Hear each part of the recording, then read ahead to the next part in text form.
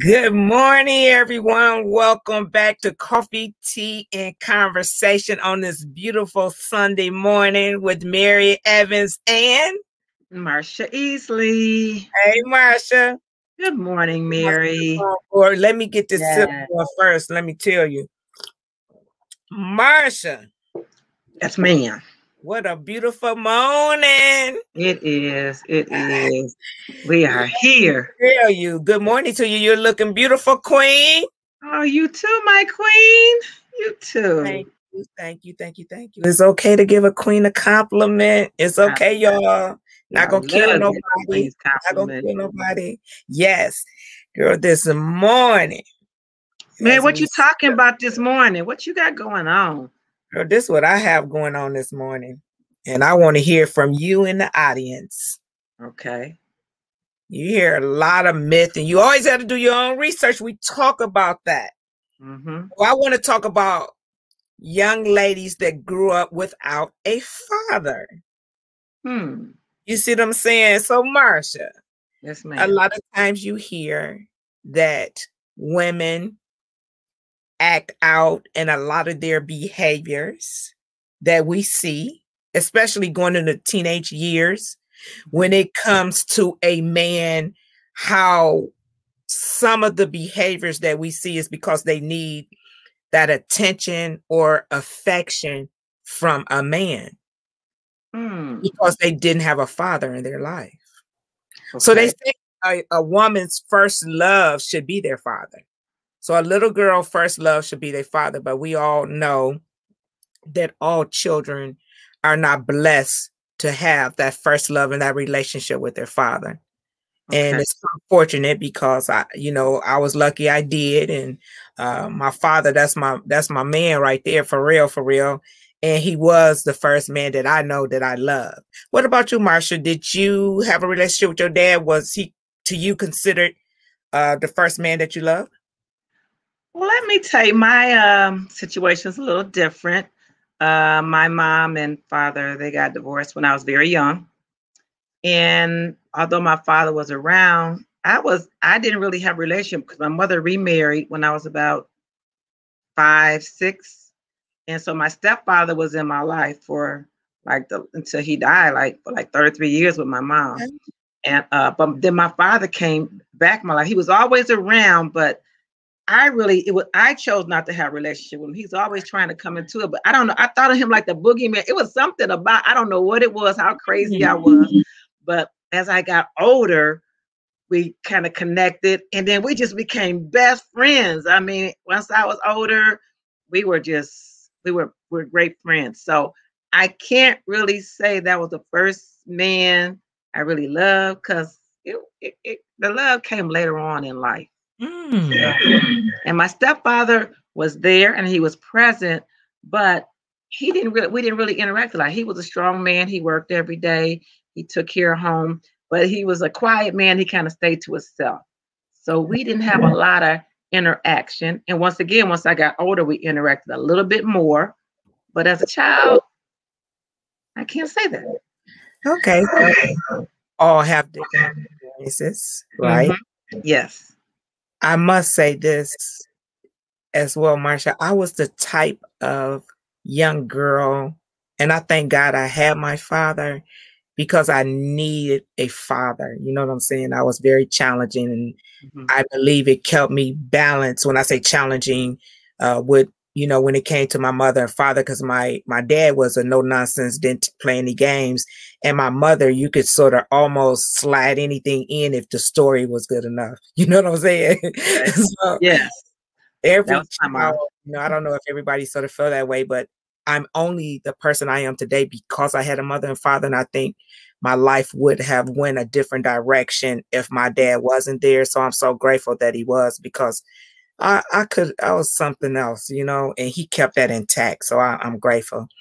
So the question today is we'll talk about behaviors of young girls and do we think that uh, plays a part in how they carry themselves. But before we go on, I'd like for you to watch this video, video and we'll critique it and talk about it together with our audience. Please comment share. We always say this all the time. The SOS show is about sharing our stories, but we want to dialogue with you guys. So let's watch this short clip. Tiara, you will stop being so disrespectful to him and you will be nice. That's right. Why should I? I haven't had a father all this time and I don't need one now. Especially not this disrespectful hot mess. Excuse me? No, this is my house. You need to listen to your mama, girl. So I don't live here? I'm not a part of this home? Okay. Bye.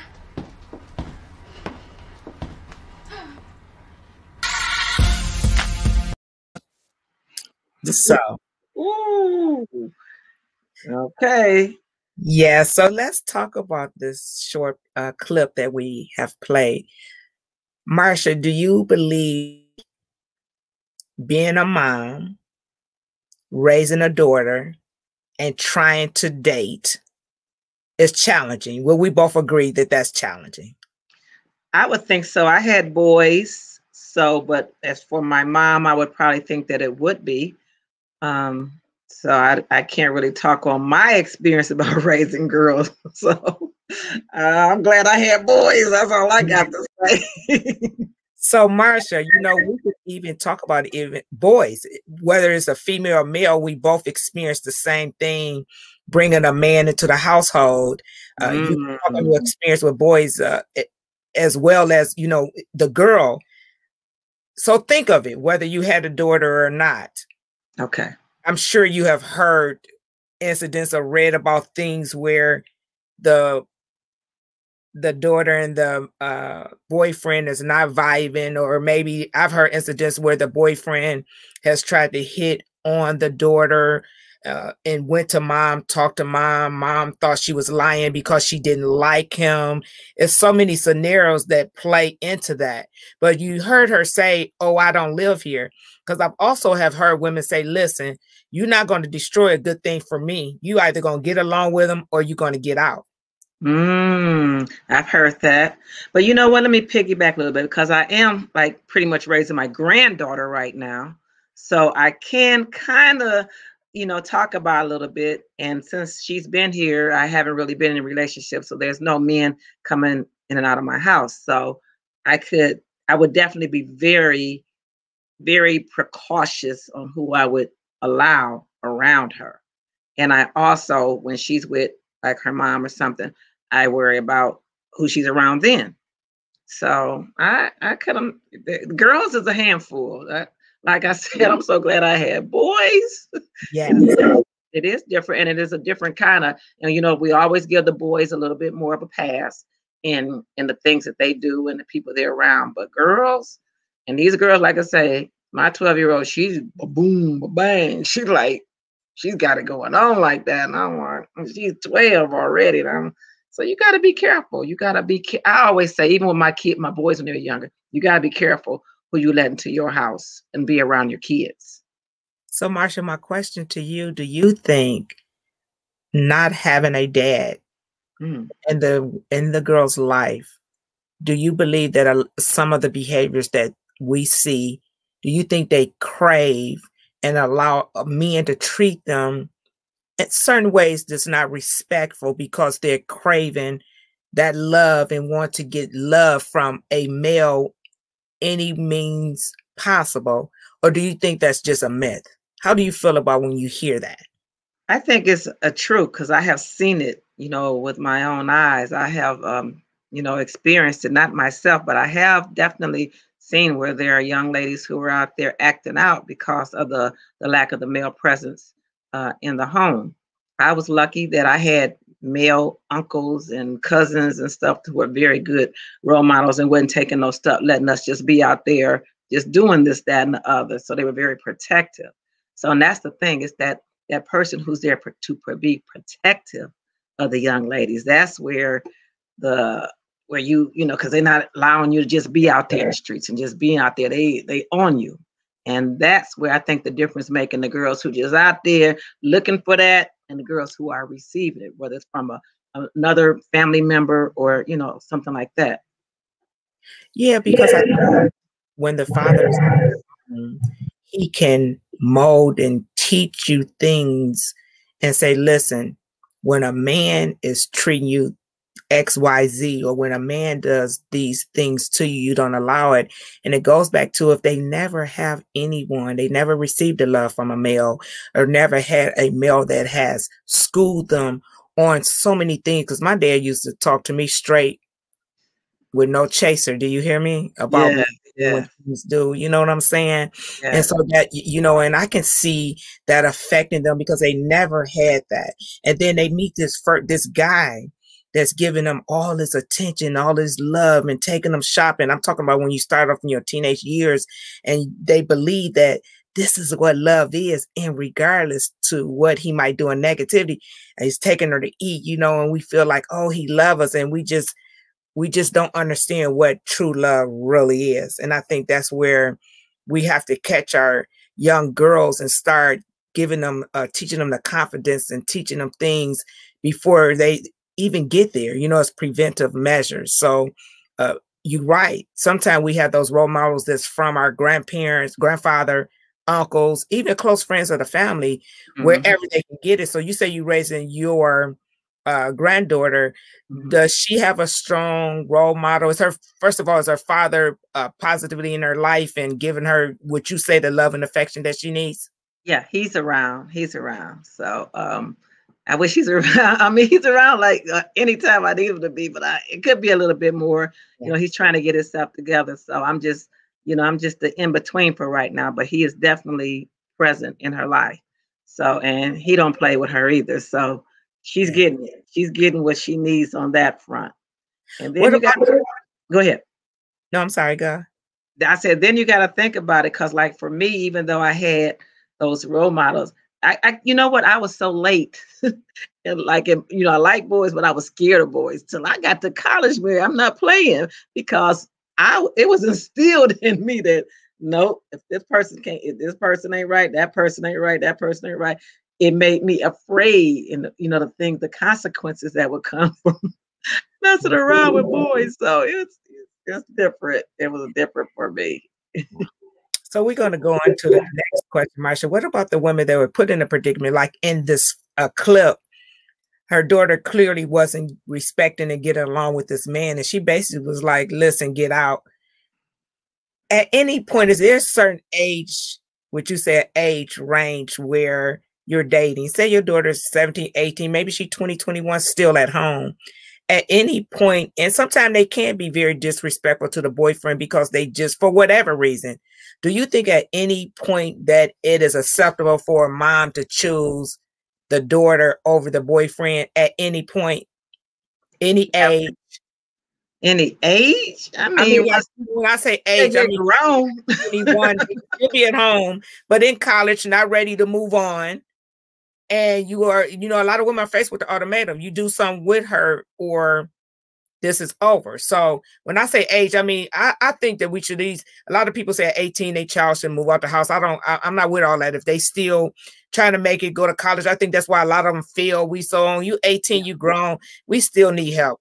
You know, right. I think so I'm talking about even 2021ish, they're working, you know, they're in school, they trying to make ends meet, but they just not getting along with this boyfriend. And the boyfriend is like, look, it's me or them. Because I actually know a couple women where they actually put their child out because they did not get along with the boyfriend and say, You're not going to ruin my good thing. What is your comments on that? And anyone in the audience, if you ever experienced that annoying anybody, how do you feel about that, Marsha?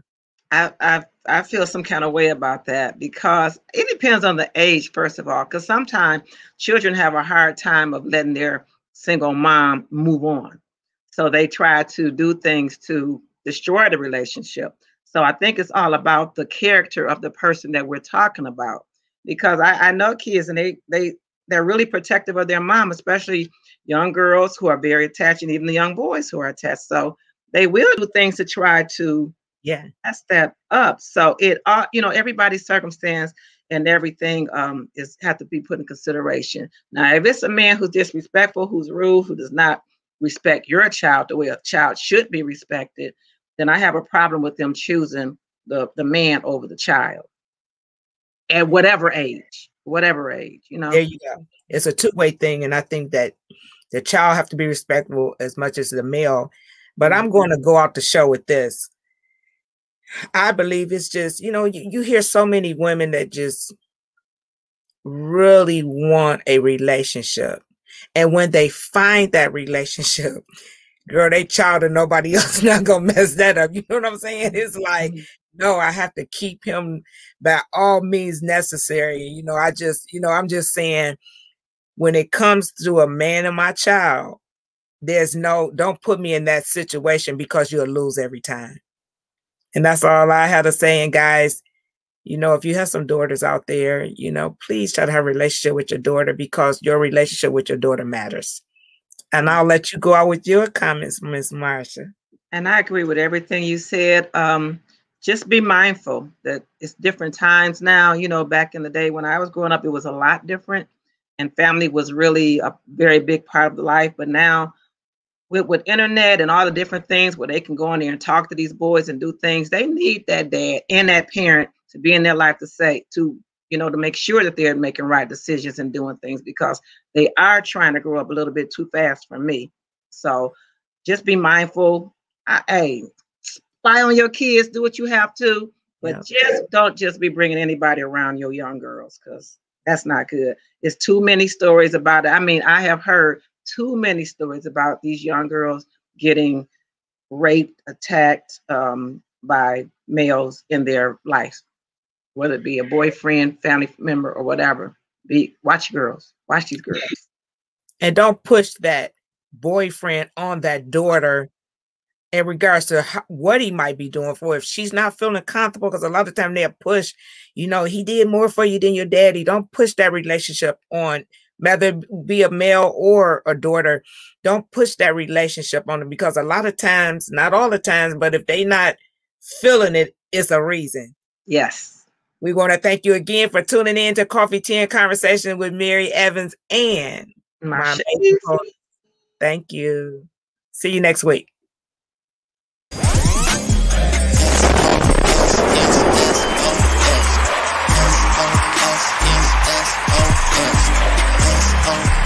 just SOS.